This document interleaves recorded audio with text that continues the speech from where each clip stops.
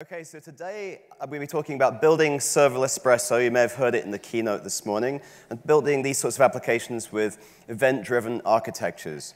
We've got about 50 minutes together. I'm going to be talking about what it's like building a real-life production application that we developed in our team, and focus on some of the practical aspects of building EDA apps within AWS. So my name is James Beswick. I'm a developer advocate. I run the DA team for AWS Serverless. If you know people like Eric Johnson and Marcia Villalba, they're all on my team, and we built this together.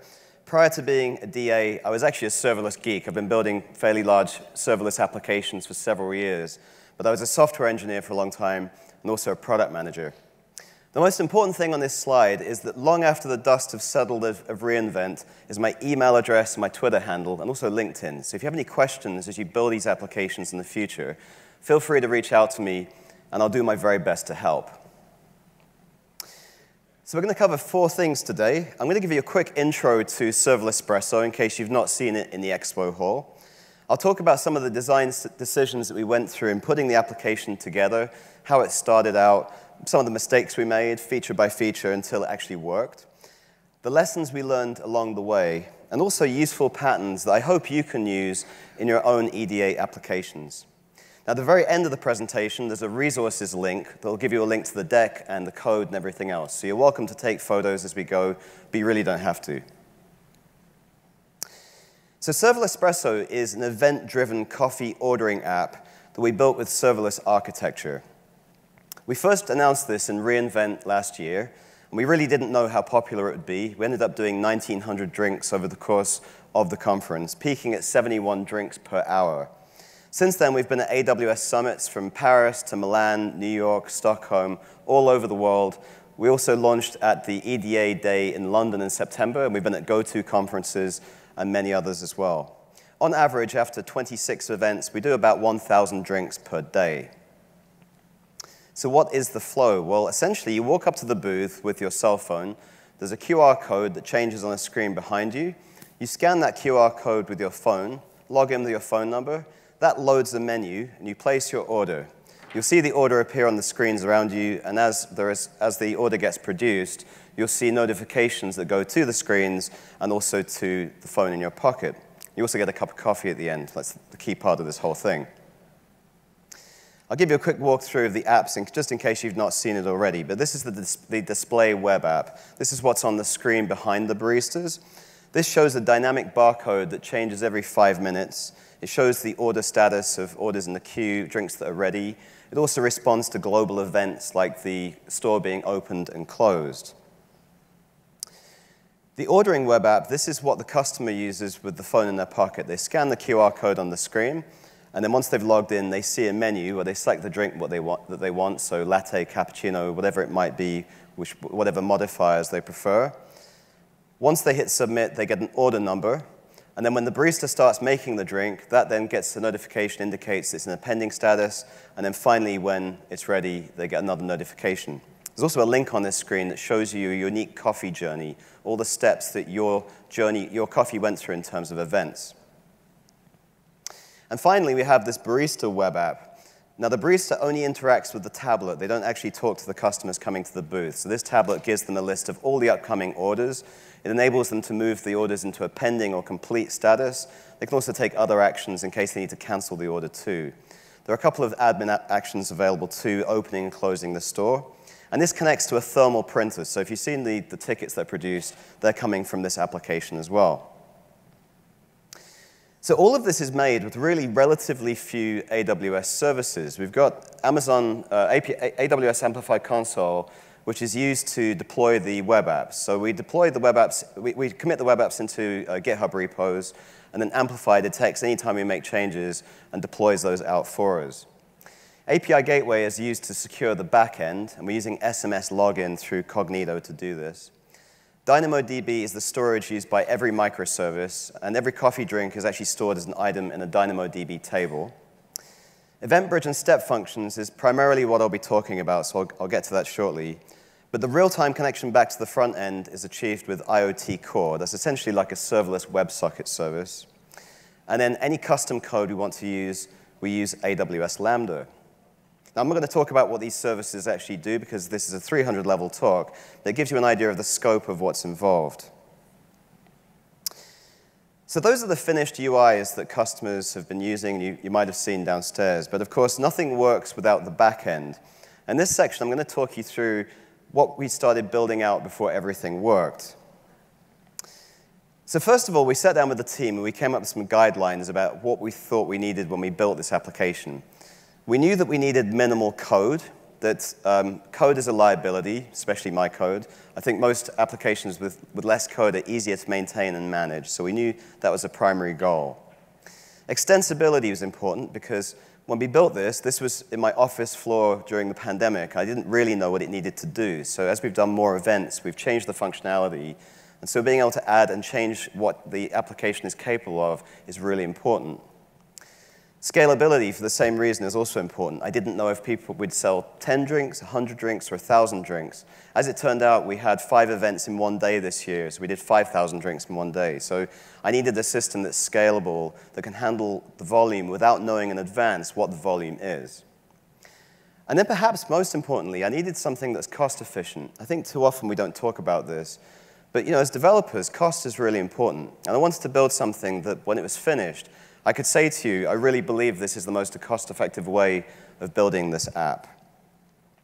We also had some tenets. So each team member was responsible for one component.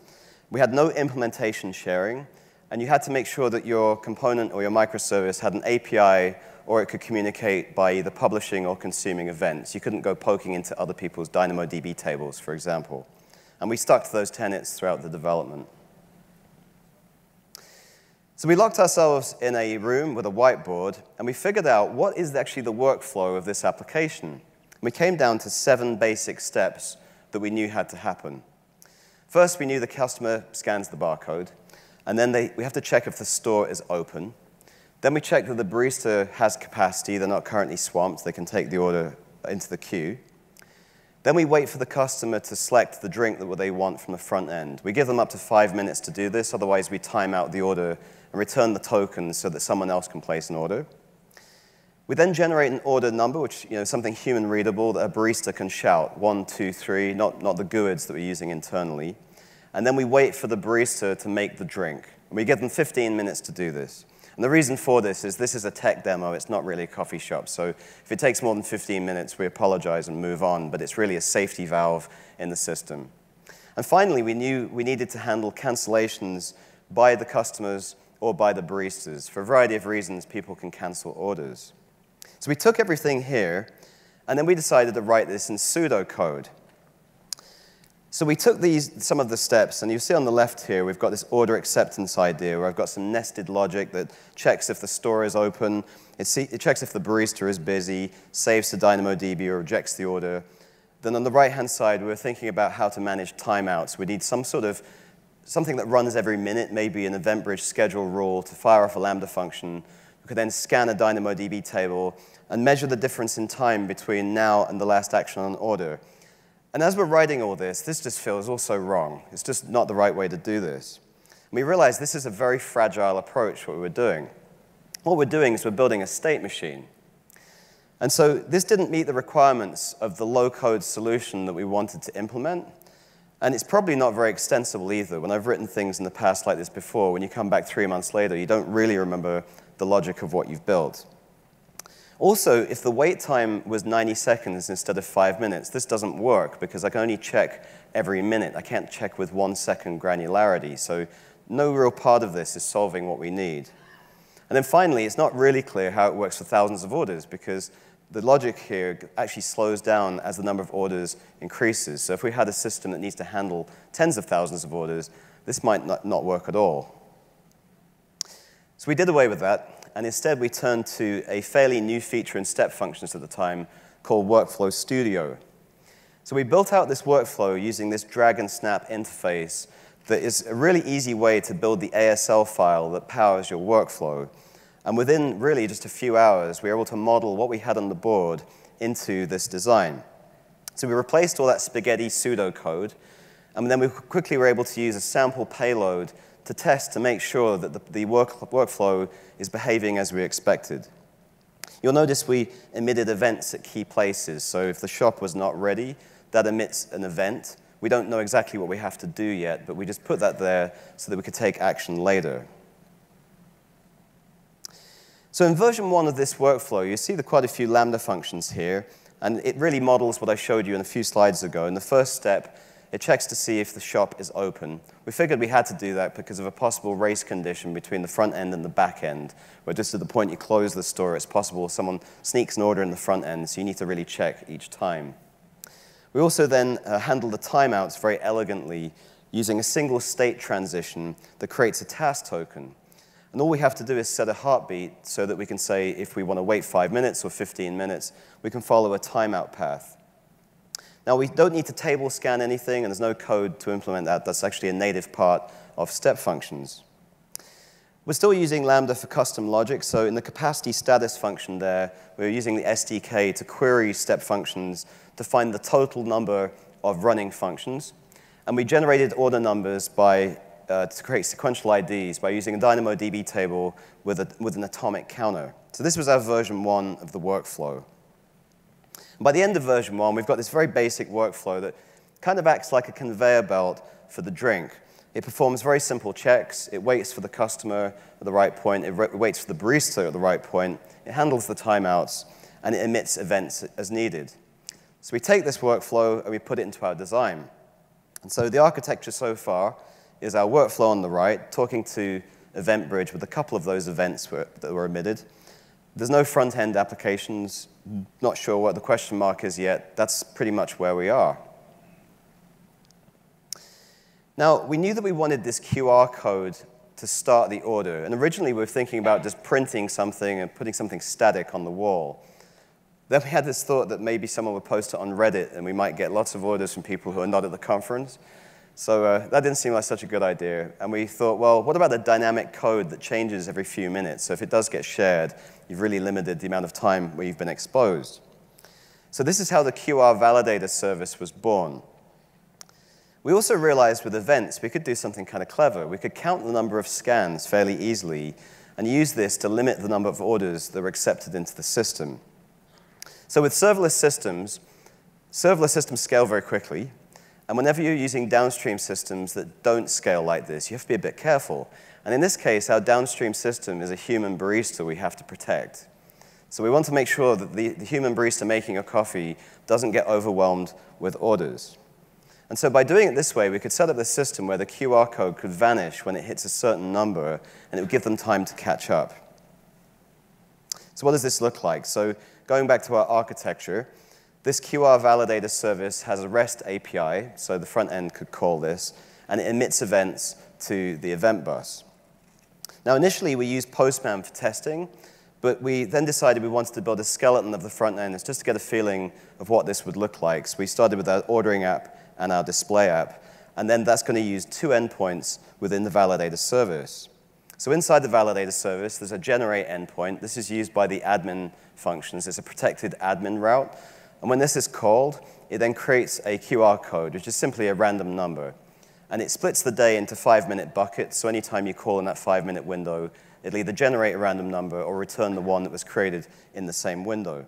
That ID is then stored in a DynamoDB table that's local to this service. The ordering app then calls the validate endpoint.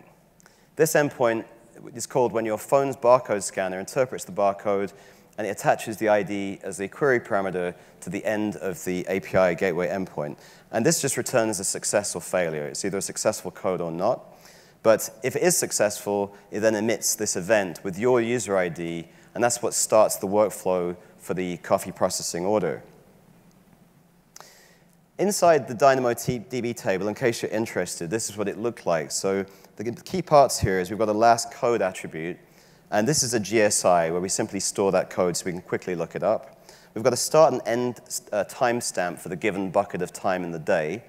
And then most importantly, there's an available tokens number, which starts at 10, and we simply decrement that every time this is scanned.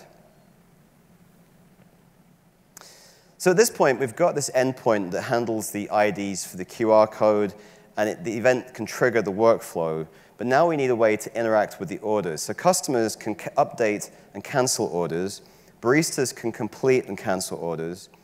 The task tokens that are generated by the workflow need to be stored somewhere. And then we've got a display app and a barista app that needs a way to get a list of open and completed orders from somewhere. And so we've wondered about how to approach this, and we came up with some questions. Should we build a monolithic workflow? Well, because it involved a whiteboard, we had to try. So we went to the whiteboard and built out this massive workflow showing literally everything you can think of that would happen with a coffee order. And once we got to about 100 boxes, we thought this is a terrible idea because we're building microservices to escape monoliths, not build a monolith in a step functions workflow. So we quickly abandoned this one.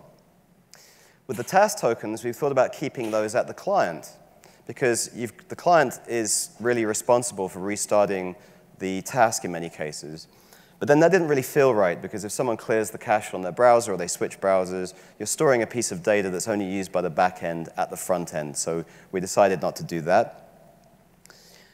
And then we wondered about querying all open workflows just to see what the list of open ones were. But the problem with this is as you have more and more of these, this process starts to slow down. It's not really a very efficient approach to the problem.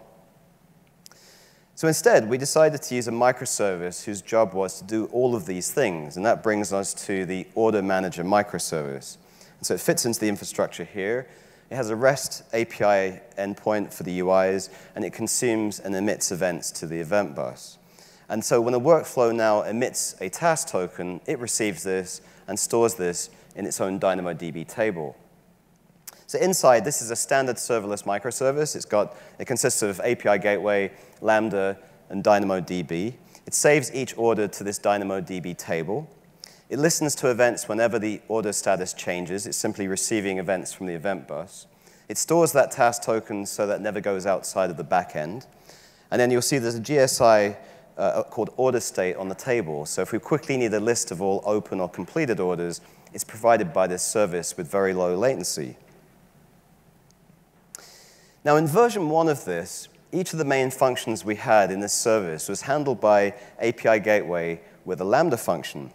And so if you cancel an order, it updates DynamoDB and resumes the step function. If you complete an order, it updates DynamoDB and resumes the step function. And you start to see this is very repetitive as you go on. And so we used this for a while, but we found this was fairly complex because you've got really very much um, duplicative code living in different directories. It's hard to navigate and understand really what's going on. And you have poor discoverability with this approach, and it's, it's actually fairly complex, even with a few number of endpoints like this. So we went to version 1.5, where we decided that many of the Lambda functions are really just reading or writing to a DynamoDB table.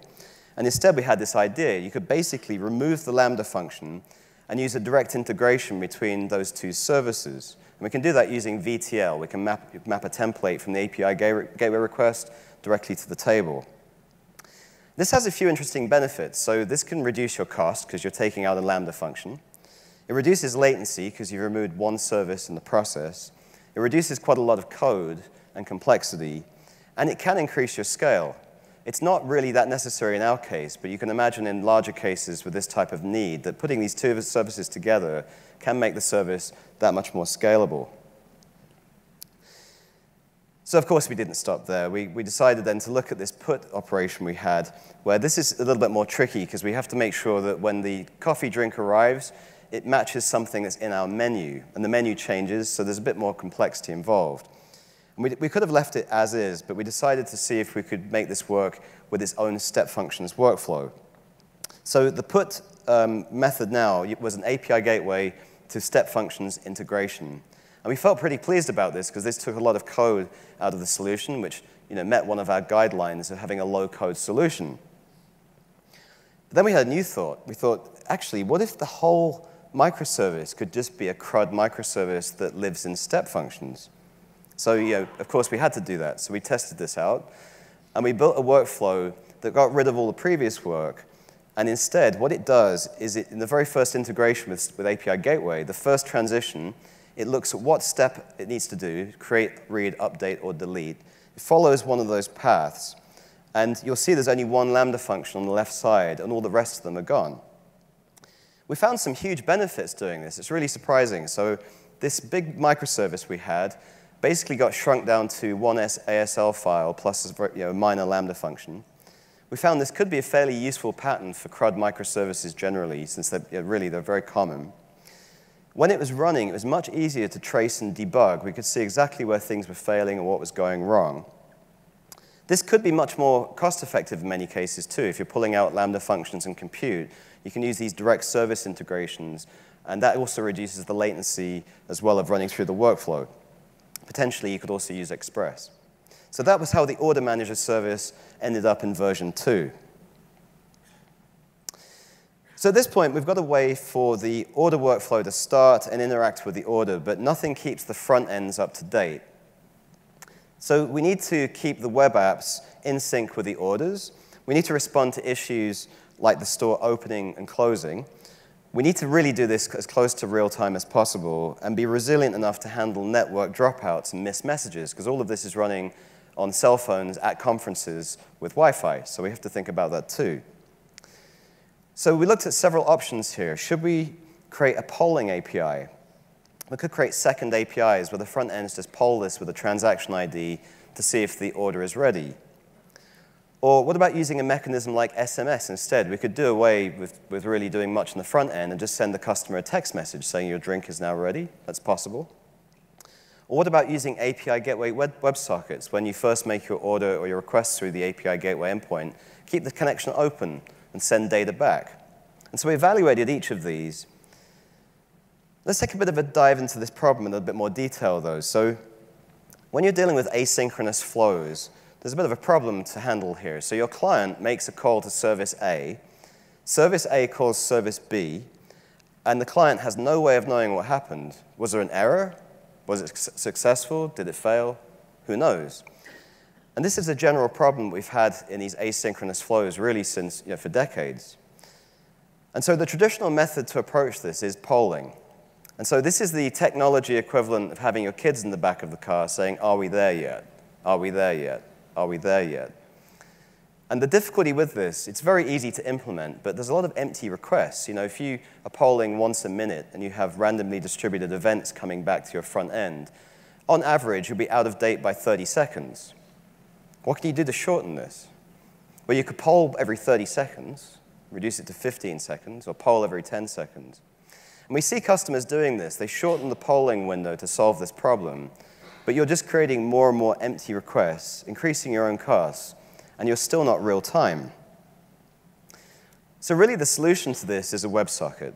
And you know, your customers who use web apps are used to using email clients and maps applications that are you know, pretty much close to real time. This is the sort of functionality we need to be building. And with a WebSocket, you create this bidirectional connection where you can send data continuously as things change. It's much less chatty, it's close to real time, but there's a snag. It's complicated. But the good news is that if you use IoT Core, that actually abstracts away a lot of the complexity for you. So we use this for tasks uh, where you've got completion percentages, like coffee orders, for example. And so you're not limited to send, sending a single response like you are with an API call. You can keep sending data back and updating the UI accordingly. So looking at this in a bit of detail, you can think of IoT Core as really a WebSocket service for serverless in this context. And it uses the MQTT protocol, which is all based around topics. So first, your front end subscribes to those topics when it starts up. And in our case, we've got this publisher microservice that's listening to events coming off the bus, that's going to send those to those topics it's interested in. It publishes to those topics, one of the great benefits to this is if I've got 100 or 1,000 clients needing to know when the store is open or closed or they're listing for information, IoT Core handles that fan out for me. I only need to send the message once. It does it all in the background. Also, a lot of the reconnection logic is bundled into the SDK. It's code I don't have to write. And I'm a big fan of not writing code. So there's lots of great functionality here, and this is something that's a great way to continue that event journey from the back end back to your front end. So in the front end, if you're using something like a Vue.js or React or Angular application, Serverlesspresso is Vue.js, what you do to handle this is write handlers. Now, I've omitted a bit of the code at the top that shows you how to form the connection. If you go to the resources page at the end, you can download all the code and see this, but I wanted to highlight the critical handlers. You have to handle when the connection is formed, or when an error occurs, but the critical one is the payload you receive when data changes.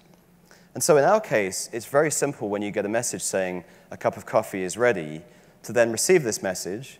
And using Vue.js, I simply update the data model in the component, and then the framework updates the UI for me. So there's surprisingly little code in the front end that continues this real-time journey all the way through.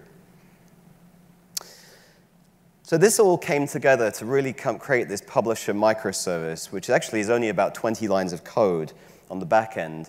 And then we let all the fan out get handled by IoT Core to give us this near real-time response to potentially thousands of devices. It listens to this event bus in the middle, finds messages it's interested in, and forwards them on. And most importantly, it lets us continue this EDA journey back to the front end without relying on polling.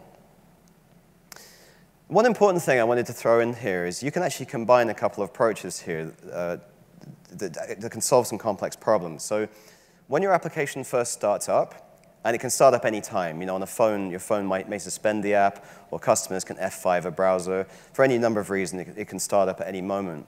You really want to receive the state of the world right now from an API endpoint, not a WebSocket.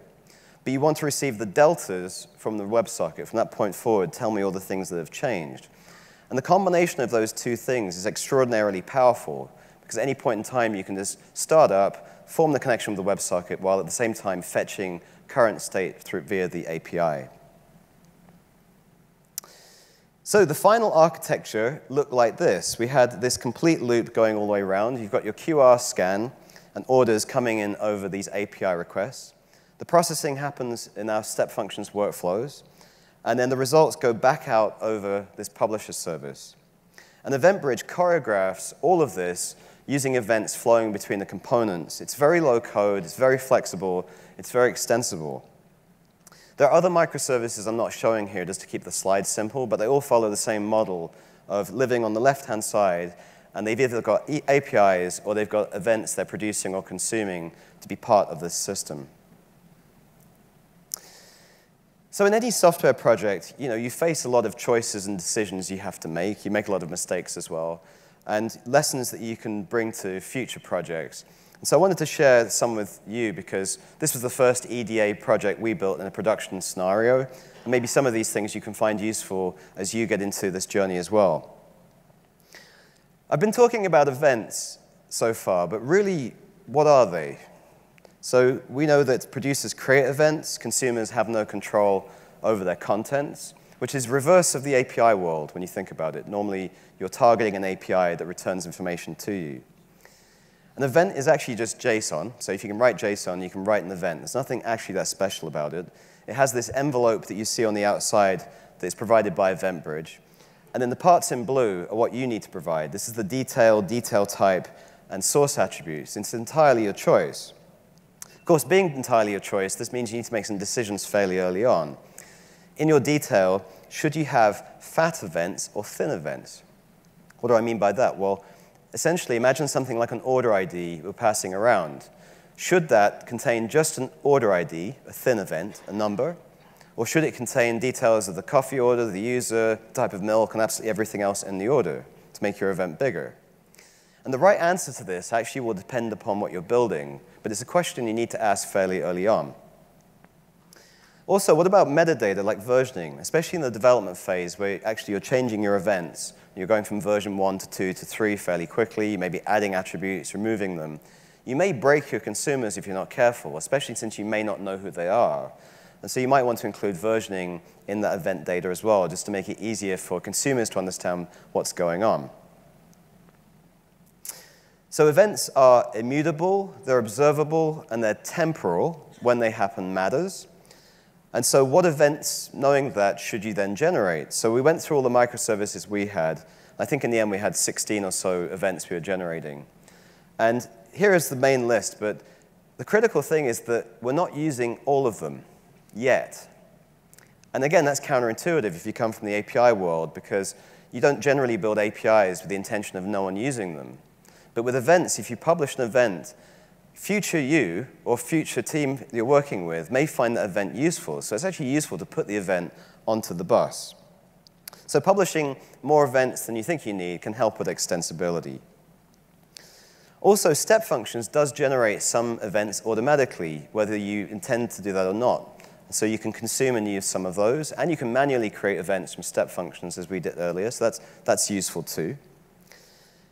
And then thinking about naming conventions early was also important because you've got different teams and you've got this flexibility. We settled on microservice.thing that happened to, to stress that an event is a thing in the past.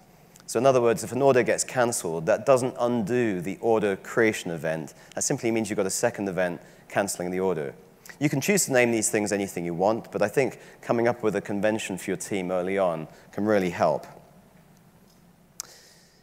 For EventBridge, another question we came up with fairly early was, do you want one bus or two? And this is a great question because you've got this default event bus that lives in your account, you already have it, and that's the only destination available for AWS events. You can send events there too, but sending events there aids discoverability for other people using your events in the future. Whereas if you decide to use a custom event bus, then what you're doing is, this is you're using this as like a security boundary around the events you produce and deciding who can control. So this is the trade-off between the two. Other teams may not be able to see events if you put them in a custom bus, but you may not want people to see events if you put them in a default bus. There are actually lots of security options around EventBridge to secure things in different ways, but very broadly, this is the trade-off you make in the one bus or two question. So events also do change in development, and you want to use versioning, as I mentioned, so that you can implement some form of contract to avoid breaking your consumers. And so we used EventBridge Schema Registry to keep track of our events. All you have to do is turn that on, and it automatically monitors what's going through the bus and gives you a registry of what's happening. There's also some really good open source tools. So someone on my team called David Boyne built this before he joined AWS. It's a tool called Atlas. And we use this to visualize the flow of events because when you're in the dev phase, you need, really need to know who's producing them and who's consuming them. And it's got this very elegant UI where you can see what's going on. So that we found incredibly helpful too. So generally, you want to think about documenting these events fairly early on because it starts to become overwhelming otherwise if you don't do this. When we started testing the application, this again was something that was a bit new to us because we're used to having API endpoints where we use something like artillery to set up a load of tests to that endpoint. And I'm not sure if you've done this, but often that means if you've got a secure endpoint, you have to go and find the JSON web token from somewhere and make artillery use it, and it, go, it then times out when you need it next time, and it's all a little bit awkward. What we found with this is we could inject our test or our events after the API point in the microservice. And so actually we could just play events into the bus as if they'd come through the API, and we skipped that completely. We then got even more fancy. We decided to build a robot tester as a microservice. It was a piece of extensibility we developed because we wanted to stress test the system with thousands of orders. And so our robot microservice produced and filled orders. It was both a customer and a barista. Very easy to write in this type of environment. We're able to use archive and replay capability in EventBridge too. So with this, you simply turn on the archive. We went to a summit, looked at 1,000 orders coming through the system, and recorded this in our archive. Then in future, when we made changes to the application, we simply played those events in our development account against effectively production data so we could get a sense of how the application now works if it were in a production space. Very, very easy to set up. Also on the bus, one neat trick I found was you could create one rule that sends all of your events to a CloudWatch logs location, and then in the CLI, you can tail that log file. It's much like the, the old days of a server where you can tail a log file, but it gives you a sense of everything that's flowing through the bus visually. You probably don't want to do this in production due to the volume of traffic, but in dev and test, it's incredibly helpful. So when you're communicating between microservices this way, the event flow is really driving the application, which again is hard to initially get your head around if you come from the API space. Events are choreographing the services while step functions is orchestrating the transactions. And there's an important separation between the two that took a while for us to figure out exactly where the line was. We also very quickly decided we didn't need private APIs because you know, private APIs require more setup with VPC configurations. We didn't need this in this model at all. All the APIs were simply open for the outside world. But anytime we needed a private microservice, it just needed to communicate with events because by default, those are private. When we added more microservices as requirements changed, we simply plugged those in on the left. That didn't change any of the code for existing services. And in fact, about a week before reInvent happened, somebody had a great idea of this order journey microservice, something that would give customers the idea of every step taken for their cup of coffee. And we thought it was a great idea, but we panicked, thinking, you know, do we really want to be changing all the code before reInvent? And then we realized with this model, actually, it's just another microservice. And we wrote the whole solution in about three hours. It simply listens to the events, produces a report, and gives it to the front end. And all of these microservices are emitting events to the bus. But here's the amazing thing they don't know about each other. None of these services know or care about each other. They are truly, truly decoupled. And this makes the code base much, much simpler as you're adding more features. Here's another thing we learned. So breaking up monolithic deployments. In our early phases of this, we had one gigantic SAM template with absolutely everything in it. And we had one point where we had to change Cognito from email to SMS. And that required us to take down the whole stack and re redeploy from scratch.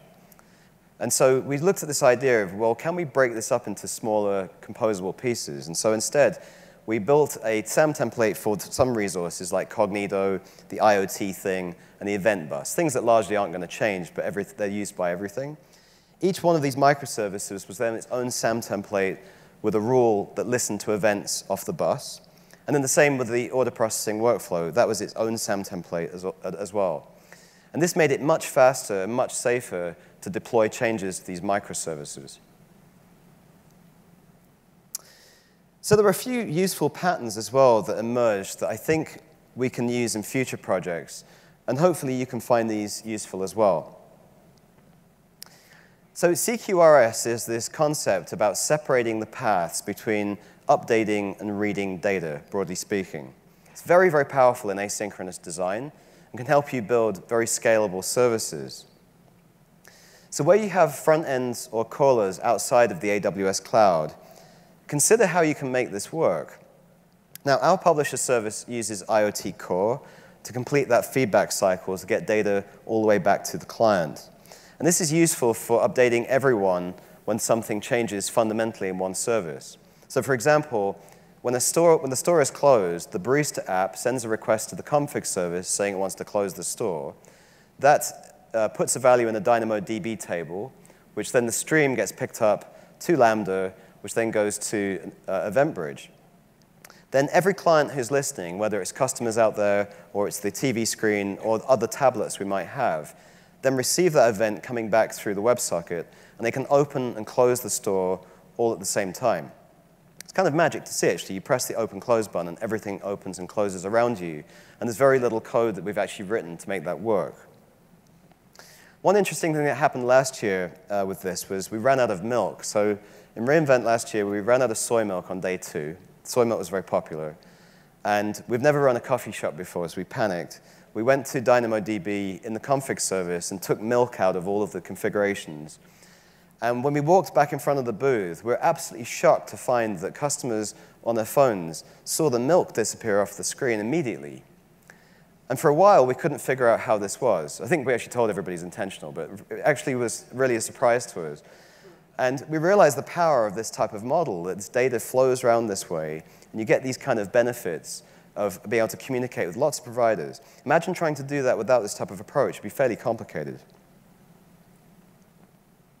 So CQRS with WebSockets is an interesting idea. And in our case, we're using IoT Core to do this. And this works with a very large number of subscribers. You know, IoT Core is a very, very scalable service. It's also very cost-effective messaging. And the pub-sub routing mechanism it's using connects your publishers and your subscribers.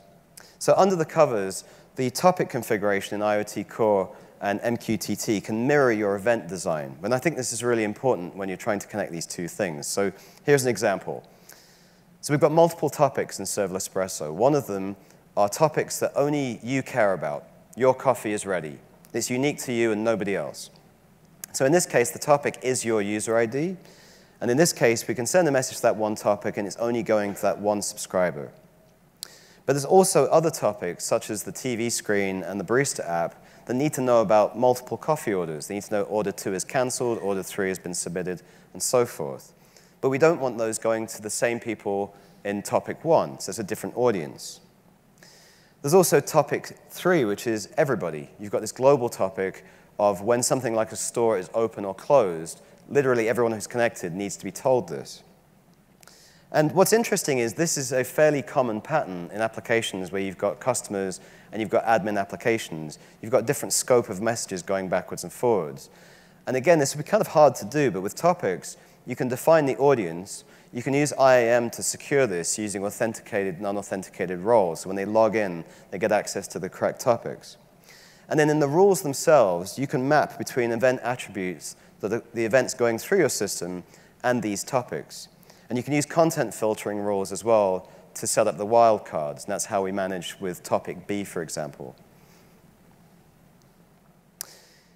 Now, orchestration and choreography are two words that tend to strike fear into people's hearts when you hear them because it's easy to get them the wrong way around. And I think it's easy to understand them from the context of what you're trying to do and which service you're trying to use. So orchestration with step functions is great for when you've got a process, often a business flow, where it's a rigid series of steps you need to be in control of. The different error happens, you can retry in the right places, and you can also track and observe what's happening throughout that entire process. Something like a payment flow would be a great candidate for orchestration because you don't want to accidentally charge someone twice. You want, you want to make sure the process is resilient enough that that would never happen. Choreography, on the other hand, is very different. This is where you've got microservices talking to each other and emitting events. And you have this flow that is the emergent property that's happening as a result of all of this. And where that happens, is that creates this ability to extend and modify the functionality of your application. And generally speaking, what we discovered was you have orchestration within the bounded context of a microservice, and you've got choreography between microservices. We tried the other way around, where you have orchestration across microservices, and it gets very messy and confusing. And if you just use events without orchestration in some places, like imagine managing the coffee journey without orchestration, you end up with lots of undo logic all over the place and pathing logic. It becomes really very difficult to understand. But when you put these two together and you use them in the right places, it's extraordinarily powerful what you can build. And that's the main takeaway we took from Serverlesspresso. And the reason I wanted to do this talk was I think this combination of orchestration and choreography can really free you as a developer and give you enormous power with the types of applications you can build. Now, when you come from the API-driven world, and I think a lot of us have, this is an interesting thought because often you think API-driven microservices are decoupled. And they are in the happy path. You know, if you look at this type of example, this is fine. But when something goes wrong, that's when you realize just how tightly coupled this can become. So imagine the fulfillment service in this example has an error it then has to then tell all the other upstream services to undo whatever it is they were doing. So now suddenly they need API endpoints to all talk to each other. And what you've got here suddenly becomes uh, very tightly coupled and very monolithic. And so dealing with failures in this model is actually fairly difficult. Also, as your complexity grows, what tends to happen is you end up with services both upstream and downstream of this. And so that makes it even harder to keep in sync when you're trying to figure out when things go wrong. So going from that world to this world, it's a little bit different. And so with this world, all those services I just shown are actually just producers and consumers on the event bus. You've got the step functions payment service, which again just communicates with events. And in this case, when the fulfillment service has a problem like before, it simply emits an event saying an error has occurred. Anybody who's interested can subscribe to that action and then take action accordingly. But critically, the fulfillment service doesn't know or care who is consuming or listening to the event. And so these services are now absolutely decoupled in the way that they weren't previously. And if you get two new services arriving like before, like the subscription service or the loyalty service, these are just microservices you plug in. Anytime they need to speak to the outside world, you put a REST API, otherwise they're private and they communicate with events. The step functions CRUD workflow is something I'm really interested in as a concept, and I hope if you use this, let me know how it goes, because we've had such a, an interesting result with, uh, using this pattern. How can you do this? Well, essentially, you've got one API gateway endpoint, and that starts the workflow. That's a direct service integration between the two. That first transition in the workflow decides the CRUD transaction that needs to happen based upon whatever's provided in the call. It uses service integrations wherever possible instead of Lambda functions. So this is something that came out about a year ago where you can use these transitions to directly integrate with step functions or Fargate or many other services. It's really very helpful. You still use Lambda or any other compute you prefer for your custom logic. And you can also use express workflows if you need to as well. And some of the benefits here are really amazing because you can actually reduce the complexity of a whole CRUD microservice potentially down to a single ASL file, which is just JSON. I mean, that's incredibly maintainable uh, compared to having actual you know, regular um, programming language type code. It also can be easier to monitor and debug. It can be much simpler to implement retries and error handling because that's natively built into the way step functions works. It doesn't rely on your code figuring out how to do this. It could be dramatically more cost effective too because you're pulling out Lambda functions and other compute in many cases. And you know, no compute is cheaper than no compute. I mean, really, you can get it down to a much lower number.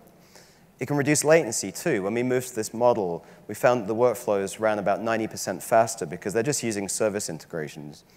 And as we started making changes, the versioning, again, that's part of step functions, made it a lot easier, especially across teams when we were deploying new versions of workflows. So considering how many different CRUD microservices there are out there, I'm really excited about this. I think it's a really interesting solution.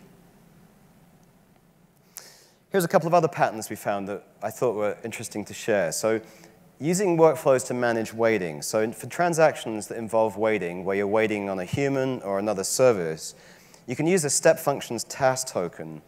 And instead of the idea I talked about earlier, where you're polling for some change and then taking action, you're simply configuring a transition to wait for a period of time. And you're paying for one transition, not the wait period. So whether you wait for five seconds or an entire year, the cost is exactly the same. Now to do this, what you do is you pass in the task token into EventBridge, and then you store that task token into DynamoDB, and then return that to the step function service when you're ready to restart. You can use the uh, SDK or API to then restart the workflow ready when you use the send task success API call.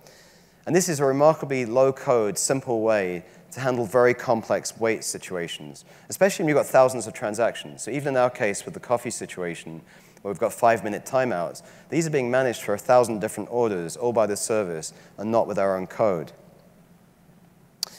The emit and wait pattern was something we were interested in too. So this is a single workflow situation that's orchestrating some sort of production process with a series of milestones. And you have an event that's emitted into the event bus for each milestone. So the events here are produced by using the put events wait for task token method.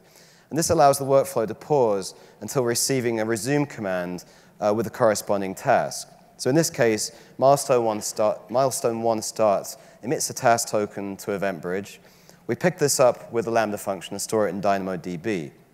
We then resume operation by returning the task token. That continues on to milestone two, which does the same thing. The task token is sent to EventBridge. Again, this is triggering a Lambda function which goes to DynamoDB. And each stage, we can add this heartbeat value in the transition in seconds to determine how long we'll give it before it will fail and follow the catch path instead. This gives you this very precise second-based timeout.